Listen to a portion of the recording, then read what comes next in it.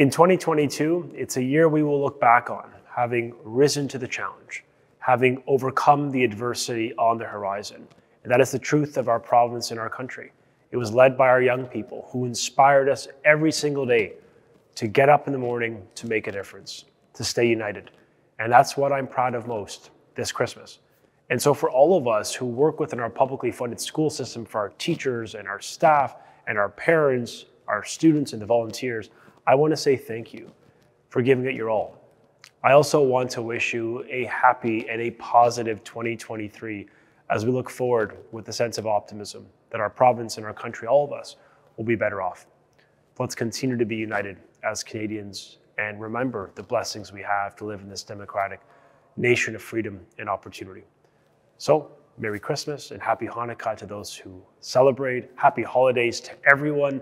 Enjoy this break and let's come back recharged and ready to take on 2023 together.